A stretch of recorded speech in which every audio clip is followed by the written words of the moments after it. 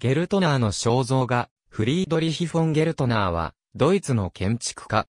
建築家の息子であり、ミュンヘンアカデミーで学習した後、短い期間、バインプレンナーと共に働き、その後パリに渡り、ペルシエとフォンテーヌと共に働いた。1805年から1807年の間は、イタリアに、1818年から1820年は、オランダと英国に滞在した。その後ミュンヘンアカデミーで講座を持った。1828年、イタリアへの二度目の旅行の際、バイエルヌをルートビヒ一世に見出され、次第に、レオ・ホン・クレンツェと並ぶ、王のお気に入りの建築家となった。ゲルトナーの特色は、ドイツ人のユールントを暴言している、すなわちイタリアロマネスクのあるいは、イタリア1400年代様式であるところの、円形アーチを用いた様式である。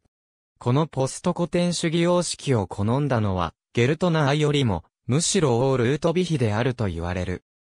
ミュンヘンではゲルトナーは1829年から1840年にかけて建てたルートビヒ教会、1840年の州立図書館、1835年から1840年にかけて建てた大学という、いずれもルートビヒ通りにある3つの建物を設計し、またこの通りの南端には、フィレンツェのロジア・ディランツィの模倣であり、トスカーナゴシック様式の試みでもあるフェルトヘルンハレを建設した。